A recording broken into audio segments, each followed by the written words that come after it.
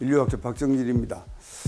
오늘은 그 한국 문화 전체가 사실은 우상에 빠져 있다는 얘기를 말씀드려 보겠습니다.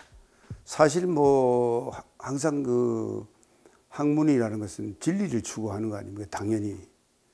근데 왜 진리가 우상이 되는가라는 점, 어, 그런 것에 대해서 이야기를 드리고, 어, 우리가 이런 우상에서 벗어나야 우상에서 벗어나야 제대로 어, 우리나라가 세워지고 어, 또 이제 선진국이 될 수 있다 이런 얘기를 드리겠습니다. 여러분 어떻습니까? 진리와 우상의 관계 어떻습니까? 진리가 우상이 된다 하면 좀 우습지 않아요? 진리는 진리고 우상은 우상이죠. 그런데 그렇지 않습니다. 아, 진리라는 것은 사실은 우리가 흔히 사물이라 그러는데 사물보다는 존재라 그러는 게 좋아요. 사물이라 그러면 이미 대상화하기 때문에 아, 조금 선입견이 있어요. 근데 처음에는 아주 무심하게 그냥 존재예요, 존재. 근데 사물이 되는 거는 이미 대상화하기 시작부터 나의 대상이 되고부터 사물이 되는 겁니다. 그 관계를 정확히 아셔야 아, 이런 얘기가 재미가 있습니다. 그 진리는 어쨌든 이 존재를 이 존재를 대상화하는 겁니다. 이게 좀 기본적인 것 같지만은 굉장히 중요합니다. 이게 보통 사물이라 그러죠. 음, 사물이라 그런데 사물 이전에 이제 존재라고 생각하고 존재를 대상화하는 겁니다. 대상화하는 것이죠.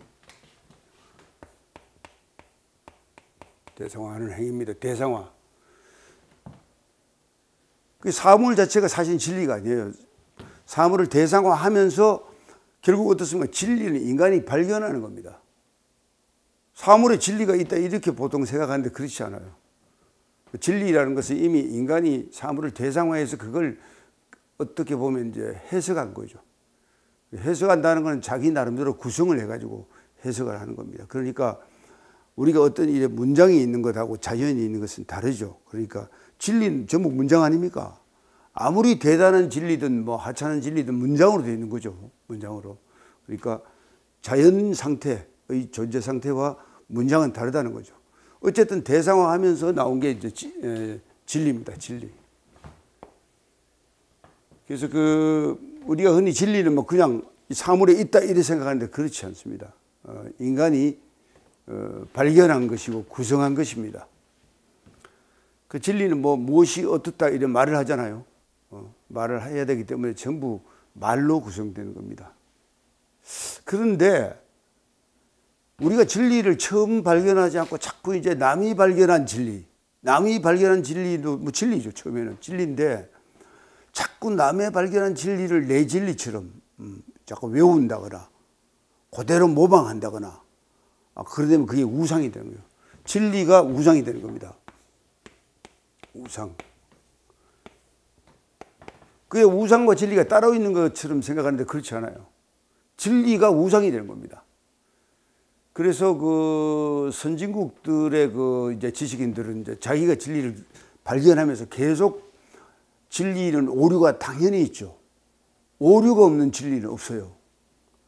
그리고 예외가 없는 진리가 없단 말이야. 그 말은 그 말 자체가 진리는 항상 그 어떤 제한이 있고 계속 그 나아가야 된다는 이야기를 이미 함축하고 있습니다. 그런데 나아가지, 나아가지 않으면 어떻게 됩니까? 바로 그 우상이 되는 거예요.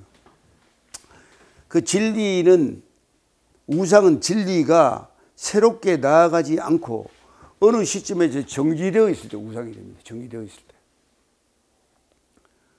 그래서 그 진리와 우상이 완전히 다른 것처럼 생각하는데 사실은 진리가 우상이 되기 쉬워요. 남이 만든 남이 발견한 진리를 계속 그 진리라고 믿으면 내한테는 우상이 되는 거예요. 그런데 그 우상을 자기는 진리로 착각하는 거죠. 그러니까 자기는 진리를 발견하지 않아. 계속 남이 발견해 가다 주고 이래야지 이제 아, 된다고 이제 그 생각하는 타성에 빠지게 되는 거예요. 그래서 그 우상과 진리가 아, 별도라고 생각하는 것 같은데 어, 어느 시점에서 정지되거나 정, 진리가 정지되거나 남의 진리를 계속 추종하면 그게 바로 우상이라는 겁니다. 여러분. 그 우상이라는 것은 뭐 우상 자체가 벌써 이 좋지 않다는 어, 네거티브한 그런 개념이 있습니다. 근데 사실은 인간, 인간은 말이죠. 대부분의 인간, 뭐, 뭐 대중이라 합시다. 아, 특별한 소수를 빼고 뭐 다중. 다중의 인간은 말이죠. 인간은 우상을, 우상을 사실 필요로, 필요로 합니다. 어, 필요로 한다. 필요로 한다. 우상을 필요로 한다. 이때 우상은 뭐, 그, 나, 그, 네거티브한 의미가 아니죠.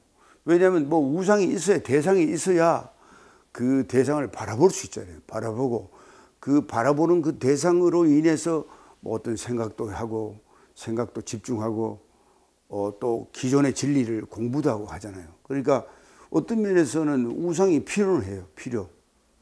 우리가 흔히 이렇게 얘기하잖아요. 아, 누구누구 나의 우상이었다. 젊을 때 나의 우상이었다. 그건 나쁘지 않죠. 아, 젊을 때 뭐 존 F 케네디가 나의 우상이었다고 어떤 미국 소년이 이야기합니다. 그건 나쁘지 않아요. 어.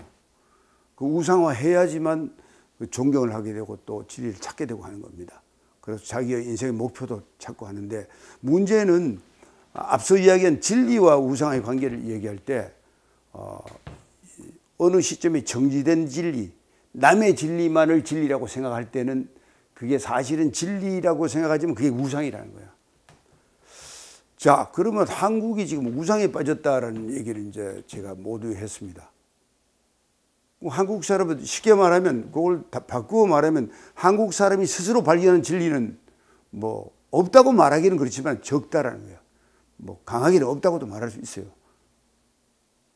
그러니까 남의 진리를 갖고 자꾸 진리라고 생각하고 뭐 외래 그 사상 또는 뭐 그 사대주의 빠지면 사실 진리를 추구하는 것 같지만 우상에 빠져 있는 거야. 우상에. 그 우상은 말이죠. 학문계에도 있을 수 있지만 종교계에도 있을 수 있습니다. 종교계에도. 그래서 그, 이 흔히 그 한국 철학에는 한국이 없다 이런 말을 해요. 아니, 한번 생각해 보세요. 한국 철학에는 반드시 한국이 있어야 되는 거 아닙니까? 한국이 없는데 왜 한국 철학입니까? 한국 철학 아니죠, 왜? 근데 착각을 해가지고 어떤 철학을 하는 사람들이 한국 땅에 살면서 한국 땅과 아무 관련 없는 얘기를, 얘기를 가지고 어, 철학자인 장, 아, 철학자인 양 이제 행세하는 거죠. 예를 들면 프랑스의 어떤 철학자와 중국의 어떤 철학자를 비교한다. 그러면 어떻게 됩니까? 한국 없죠. 그런 것이 굉장히 뭐 그 철학하는 뭐 고상한 뭐 형이 상하는 것처럼 이래 착각을 하고 있다고요. 그게 다 우상에 빠진 거야. 구미의 우상, 서구의 우상, 중국의 우상에 빠졌죠. 그래서 이래 보면 이미 우리가 우상에 빠져 있는 역사가 되게 오래된 것 같아요. 제가 보기에.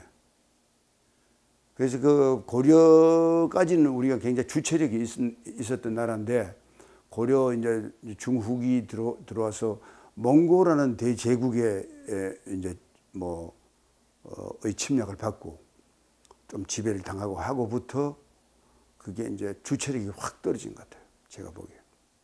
근데 그 끝에 새로 생긴 이제 나라가 또 조선 아닙니까? 그 조선은 처음부터 이제 중국 사대로 시작을 했죠. 그러니까 우리도 모르게 우리는 그 외래적인 것, 옛날에는 외래적인 것이 중국적인 거잖아요. 요즘 외래적인 게 뭡니까? 서구적인 거죠. 그것에 목매다는 거예요. 그게 진리고 그걸 섬겨야만 되는 것처럼 이렇게 생각한다고요. 그러한 그 사대주의적 전통 때문에 사실은 한국 철학에는 한국이 없어요. 한국이. 여러분 철학 논문 한번 보세요. 한국이 있는가? 중국 철학 아니면 서구 철학이 있고 아니면 중국 철학하고 서구 철학 비교하고 이런 짓을 하는 거죠. 뭐혼 빠진 민족이죠, 혼이. 우리 뭐 얼빠졌다 하잖아요. 뭐 얼빠진 민족이 아직까지. 기껏해가 지금 이제 먹고 사는 거 겨우 해결한 겁니다. 뭐 굉장히 뭐 발전한 것 같지만은 사실은 아직 코어가 없어요. 우리 문화의 핵심이 없단 말이에요. 그 핵심이 없는 문화는 반드시 우상에 빠져 있다라는 것을 어, 그 상기할 필요가 있어요. 다시 말하면 한국 철학에는 한국이 없다. 이런 말의 연장선상에서 다시 한번 이야기해 보겠습니다. 한국 기독교에는 한국이 없다. 어, 기독교 신자 여러분들 뭐 기분 나쁠 수 있어요. 한국 기독교에 한국이 없다. 그러나 한번 반성해 보십시오. 한국이 있는가? 매일 이스라엘이 있고 유대 있고 예수님이 있고 뭐 하나님 있고 그렇잖아요. 한국이 없죠. 그게. 그런 것들이 한국 땅과 관련이 되어서 얘기돼야 됐단 말이에요. 철학이든 종교든 간에. 그 저는 뭐 한국이 없는 그 어떤 글들을 많이 봅니다.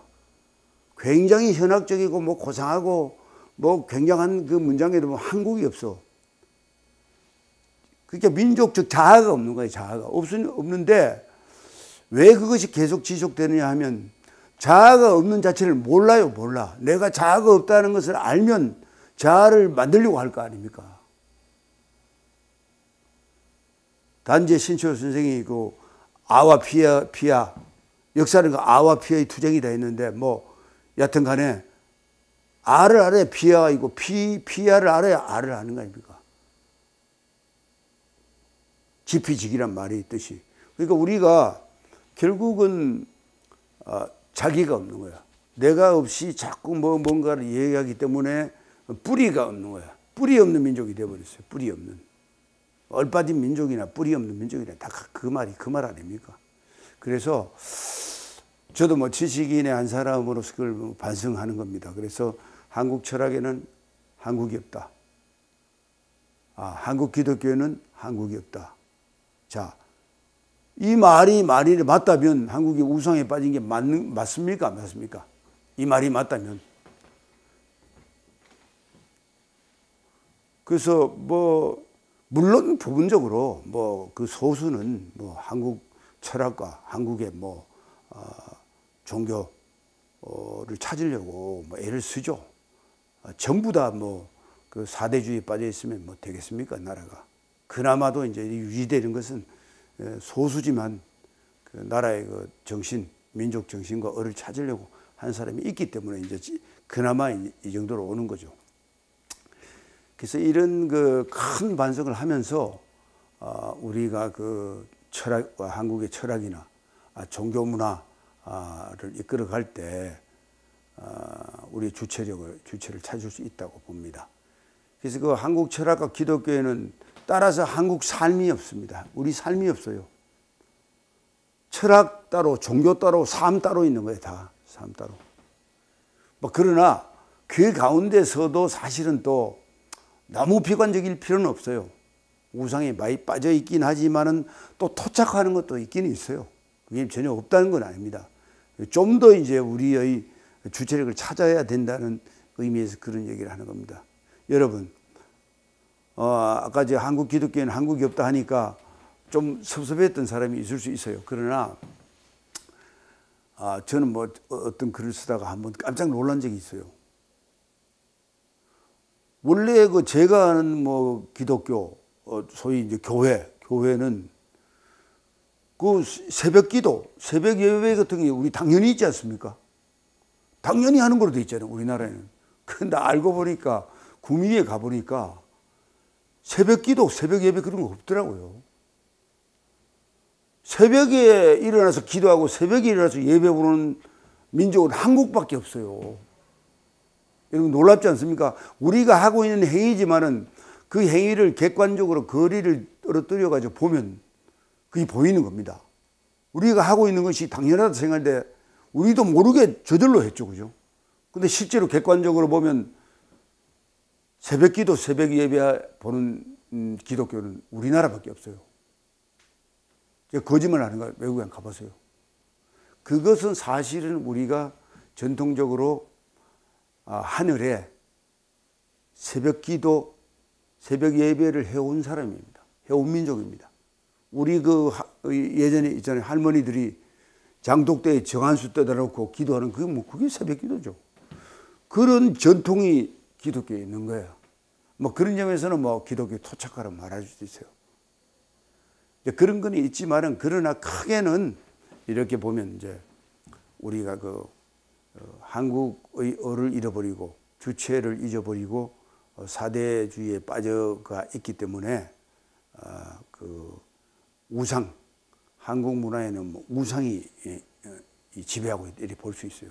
그런 것이 현대까지 이제 이어졌죠. 이어졌죠.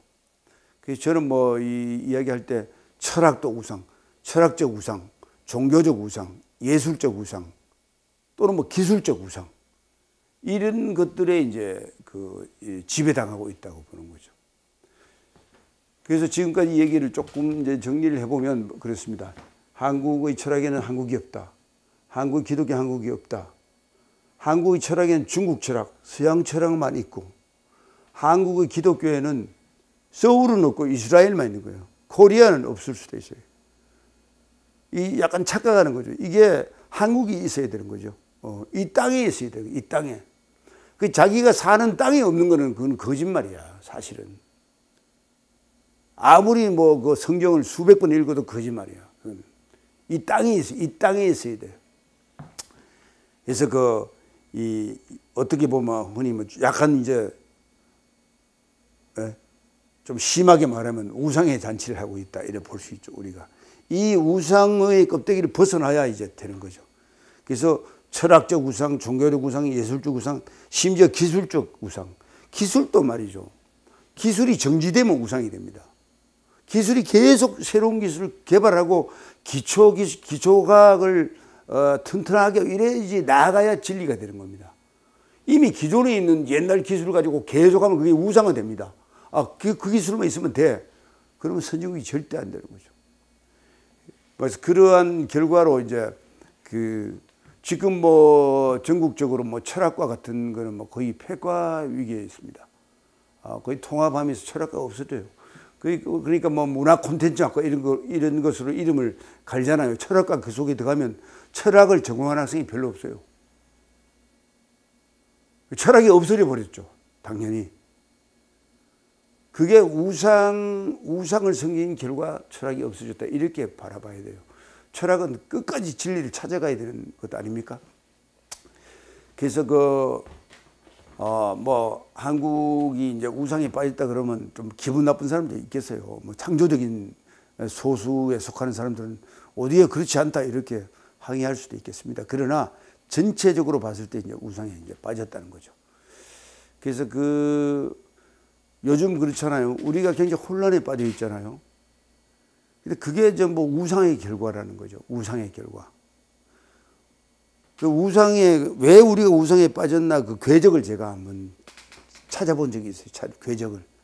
특히 이제 조선조부터 이제 시작이 되는데 조선의 그 소위 성리학 사대주의. 뭐 성리학을 배우는 건 좋아요. 성리학 자체가 나쁜 건 아닙니다. 제가 볼 때 동양 문화가 거의 근세에 이르도록 자랑할 만한 것 중에 하나가 성리학입니다. 굉장히 그 정치하고 서양과 대결해도 전혀 손색이 없는 철학이 성리학입니다. 그러나 그것조차도 그 사대주의에 빠지거나 뭐 고정된 어떤 것으로 고정되어 있는 것으로 정답이 영원한 정답이 있는 것으로 달달달달 외우고 말이죠. 과거 시험을 위한 공부를 하거나 그렇게 되면 이제 우상이 되는 거죠. 그래서 사대주의를 하다가 결과적으로 우리가 식민을 했지만은 돌이켜 보면 말이죠. 어쩌면 당연한 거예요. 제가 당연하다 기분 나쁘죠. 사대주의를 계속하면 자기도 모르게 어느 날 국력이 쇠퇴해가지고 식민을 당하게 되어 있습니다. 어느 나라에서든지. 앞으로도, 앞으로도 계속 그래가면 말이죠. 뭐, 일제 아니라 다른 데도 식민 당할 수 있습니다. 그래서 그걸 당하지 않기 위해서는 아, 우상에서 벗어나야 됩니다. 식민주의, 식민을 당했으니까 당연히 호소력인 게 마르크스 주의입니까? 아, 주인 나라가 아니었고 노예 나라였으니까 당연히 마르크스주의가 그 설득력이 있게 되죠. 왜? 자기 수준에 맞게 모든 게 오게 돼 있다면 수준에 맞게. 마르크스주의가 잘났다는 게 아니라 그게 뭐 그냥 대단한 철학이 아니에요. 제가 볼 때는. 그런데 전체적인 수준이 그 정도가 있다면 그러니까 그게 뭐 호소력이 있죠. 그래서 그게 이제 심하게는 종북. 예를 들면 지금 한국이 한국이 철학이 있느냐 했을 때 뭐 여러분 한국 철학이 무엇이라고 내놓을 게 있습니까? 뭐 아주 그 소수의 몇몇은 뭐 그것도 이제 강단 사학이 아니라 이 제야 사학에서 나온 뭐 시알 사상이나 말이죠. 이런 것이 좀 있지만은 그게 뭐, 어, 우리가 내놓을 대표적인 사상 아니란 말이에요. 결국 철학이 없는 거죠, 우리가. 철학을 하는 것처럼 시장은 뭐 그 시끄러운데 결국 철학이 없는 거예요. 그 잘나든 못하든 간에 이제 이 주체 사상이라는 게 북한에 있는 거예요. 주체 사상이. 그게 뭐 저는 내용을 따지는 게 아닙니다. 거긴 나름대로 한 거예요, 나름대로. 우리는 나름대로 하지 않았다는 거죠, 간단히 말하면. 그래서 종북이 되고, 종북이란 게 거꾸로 한자말로 종북이 돼도 우리가 노예가 돼버렸단 말이에요, 노예. 사유의 노예. 먹고 사는 것은 관계없는데, 뭐 3만 불이 노예 아니잖아요. 근데 사유를 어, 주체적으로 못하는 이제 민족이 돼버렸어요. 그래서 이런 그 한반도 전반 상황에서 볼 때 이 주체 사상도 일종의 우상이란 말이에요. 우상. 이거는 주체 사상이긴 한데 우상이란 말이에요. 그러면 우리가 전반적으로 남북한이 우상을 벗어나려 그러면 진리에 대한 철저한 추구가 있어요. 진리에 대한 철저한 추구. 반성, 추구 이런 게 있어야지만 우리가 아, 주인이 되는 철학을 만들 수 있어요. 우리 주인. 한국 철학이 한국 사람이 주인이 되는 거 아닙니까? 그러면 우리 주인의 철학이 만들어졌을 때 세계에 나가서도 우리가 주인이 될 수 있는 거예요. 그래서 글자 그대로 진짜 아, 우리의 주체 사상이 만들어져야 되는 것이. 그래서 어, 지금까지는 뭐 우리가 경제를 이제 그 강화시키는데 노력을 많이 했지만은 어, 앞으로는 이제 철학 같은데도 어, 그 철학을 강화를 해야 되고 그게 강화되면 저절로 이제 문화가 여러 분야의 철학이 심어지면서 아, 튼튼해지는 겁니다. 그래서 그런 식으로 이제 우리가 가야 된다 이제 생각을 하게 됩니다. 그래서 오늘은 조금 제가 좀, 좀 심한 것 같기도 해요. 어, 어, 주인이냐 노예냐 이런 어떤 그 극단적인 말로 이제 어, 제가 얘기를 했는데 어, 그것은 아마 뭐 충정해서 우리가 우상에 빠져 있지 않냐 이런 걸 반성함으로써 어, 그 우리 민족적 현실 이 딜레마 딜레마적 현실을 벗어날 수 있다 이제 생각하는 거죠. 여러분 어, 기독교 성경이 왜 대단합니까? 저도 성경 많이 읽는 사람입니다. 정말로 놀라워요. 성경에 말이죠. 신이 아브라함에게 얘기를 한 구절이 나오더라고요. 너무 놀랐어요. 예를 들면 어떤 민족적으로 위기에 있다거나 뭐 어, 그럴 때 너는 어디에 있었냐가 중요해요. 어디에 있었냐. 역사의 현장에 있어야 되는 거예요. 역사 현장에 있어야 되는 거예요. 현장에 있지도 않으면서 딴 데 있으면서 이렇쿵저렇쿵 하면 말이 안 된단 말이에요.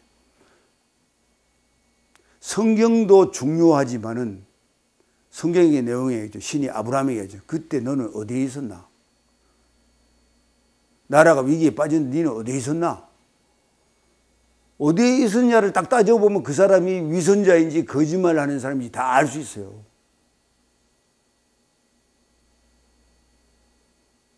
성경에는 그런 이제 저런 그 기가 막힌 말들이 있어요. 아, 민족이 공경에 빠졌을 때 너는 어디에 있었냐를 따져야 거야. 아, 그 유대 그 이스라엘과 그 아랍이 그 6일 아, 전쟁을 했잖아요. 뭐. 그때 소위 그 이스라엘 유학생들이 뭐 그 머리 좋은 사람들이죠. 뭐 유학생들이 전부 그 이스라엘로 돌아갔다는 거 아닙니까? 왜? 조국이 전쟁이 일어났다고. 그래서 그, 그, 세계가 알았다는 거예요. 아니, 뭐, 머리도 좋고, 출세, 앞으로 출세를 얼마든지 할 수 있고, 공부도 잘할 수 있고, 여러 가지 여건이 잘 되는데, 조국에 전쟁이 일어났다. 해서 전부, 아, 전쟁에 참여해서 그 귀환했다는 거 아니에요. 그 사실 쉬운 일이 아닙니다. 왜? 그때 이 땅에 있기 위해서 간 겁니다. 그래서 앞으로 우리도 우리 역사 현장에서 지식인들이 있으면서 머리를 싸매고 고민을 하면서 역사를 발전시키기 위해서 애를 써야 됩니다. 이 땅에 없으면 이 땅이 없으면 다 거짓말입니다. 그래서 그 왜 우리가 우상에 빠지냐는 결론적으로 이 땅에 이 땅으로부터 무언가를 하지 않기 때문입니다. 학문이든 종교든 예술이든 이 땅으로부터 이제 시작하는 게 좋겠습니다. 그게 우상을 벗어나는 길이라고 생각합니다. 오늘 뭐 문화와 우상에 대해서 말씀드렸습니다. 감사합니다.